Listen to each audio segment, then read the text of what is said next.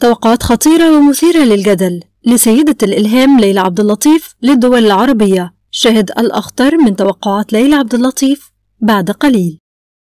أهلا بحضراتكم معانا وحلقة جديدة من حلقات توقعات سيدة الإلهام ليلى عبد اللطيف ومجموعة قوية جدا من توقعاتها للدول العربية وأيضا للعالم في 2025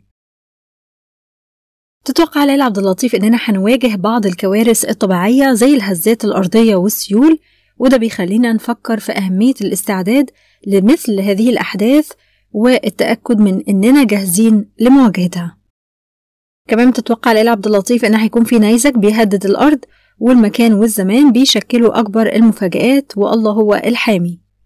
تتوقع ليلى عبد اللطيف إن الجزائر هتحقق إنجاز رياضي كبير خلال المراحل القادمة وهيكون حديث الإعلام والناس. هتظهر قضايا فساد غير مسبوقة في ليبيا وهتهز الحكومة وكمان شخصية اجتماعية ورياضية كبيرة في ليبيا هيلعب دور حساس في السياسات الليبية وسوف يحتل دور قيادي. مدينة بني غازي وبعض دول شرق ليبيا هتنعم بثورة عمرانية.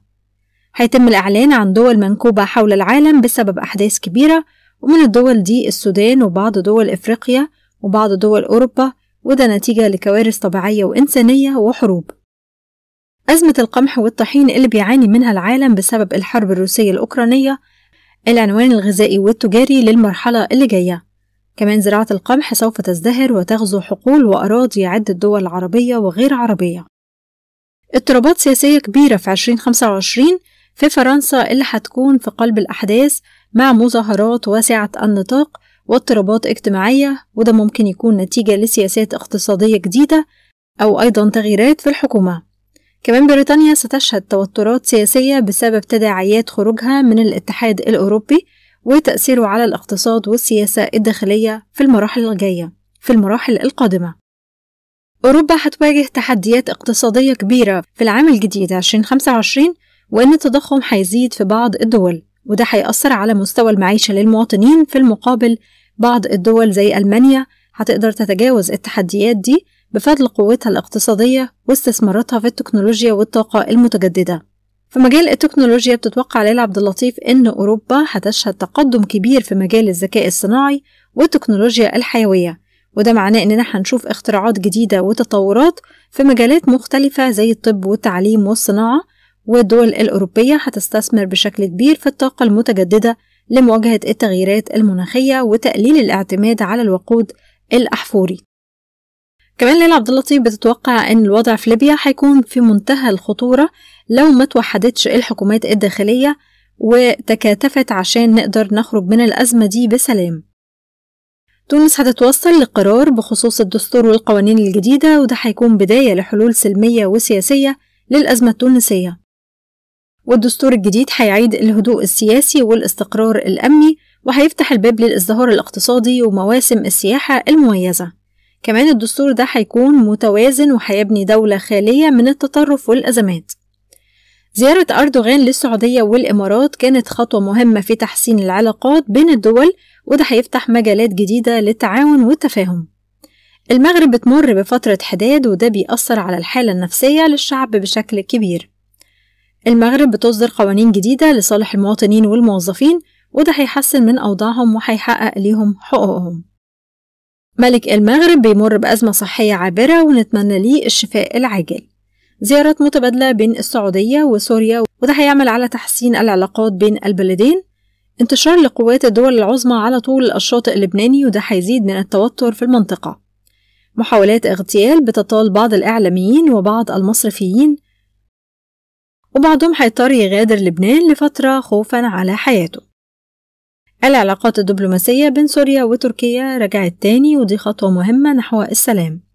اجتماع بين الرئيس بشار الأسد والرئيس أردوغان وده هيؤدي لتحقيق السلام في المنطقة.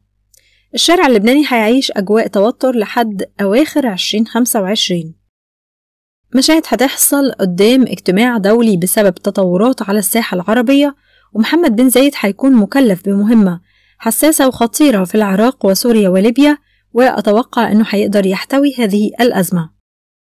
تركيا بتشهد حملة مداهمات واعتقالات بسبب حادث معين. كندا بتعلن حالة الطوارئ بسبب حادث مؤسف وده هيؤدي لمظاهرات مليونية غير مسبوقة في تاريخها. القواعد العراقية في إيران هتتعرض لحوادث مؤسفة وده هيؤدي لتغييرات في الحكومة السورية وإقالة وزراء كتير. لبنان وبعض الدول العربية هيشهدوا أزمة مياه غير مسبوقة والشارع هيكون مليان صرخات والإعلام هيواكب الحدث. دماء وقتلى وجرحى في أحد الأماكن المقدسة وفي عدة دول قبل نهاية العام. وهنشوف دماء وقتلى في دول مختلفة. تحت رعاية السعودية هنشوف استقرار أمني في العراق واليمن وليبيا استعدادا لمرحلة السلام. تنكيس العالم اللبناني وإعلان الحداد لحادث معين. تقارب بين مصر وإيران وكمان بين مصر وقطر. المعارضة السورية هتتعرض لإرباك كبير وده هيؤدي لاستسلامها. هتتعرض بعض دول العالم لفيضانات ضخمة هتهدد مساحات شاسعة من أراضيها سواء كانت دول عربية أو أجنبية والفيضانات دي هتكون كارثة طبيعية كبيرة لازم نستعد ليها. اكتشاف طبي مذهل وعلاج فعال لمرض السرطان وهيجي من شجرة أو من نبات غير معروف بعيد تماما عن الكيمياء والجراحة والاكتشاف ده هيغير حياة ملايين الناس. كل الأنظار والإعلام على ليبيا متوجهة للسيد الدبيبة لحادث مؤسف. وبتقوله يجب أن تنتبه على أمنك خصوصا في الفترة اللي جاية لأن الوضع ممكن يكون خطير. في الفترة الجاية كندا هترفع أجور ورواتب الأطباء والممرضات وده هيخليها الدولة اللي بتدفع أعلى الأجور للأطباء والممرضات الأجانب في العالم جنبا إلى جنب مع أستراليا. شبح الاغتيالات في لبنان هيطال شخصيات من الصف الثاني زي بعض الوزراء والنواب السابقين أو الحاليين والخطر ده بيحوم حواليهم بشكل كبير. ولي العهد محمد بن سلمان هيكون محط الأنظار والانفتاح وشايل هموم الأمة وهيقدر ينقل السعودية لمرحلة جديدة من الإنجازات في وقت وجيز. الوضع الاقتصادي في أوروبا هيبقى على المحك خصوصا في الفترة المقبلة ومفيش نهاية قريبة للحرب الروسية الأوكرانية وده هيعجل بوصول الحرب لأوروبا. جماهير الثورة السلمية هي اللي هترسم مستقبل لبنان الجديد والحراك الشعبي هيحقق إنجازات ما قدرتش الحروب والنزاعات تحققها. وكمان هتتحقق أهداف وطنية كبيرة.